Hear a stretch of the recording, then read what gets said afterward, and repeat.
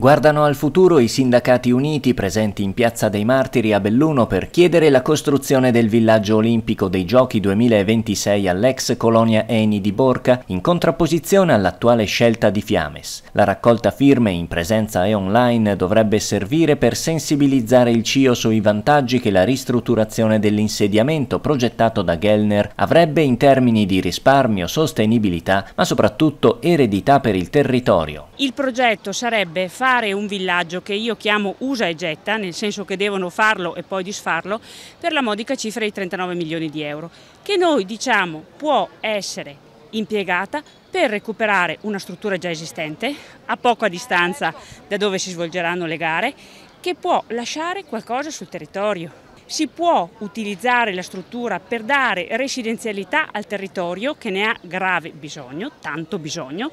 potrebbe ospitare tutte le stanze degli atleti che potrebbero diventare stanze per i lavoratori,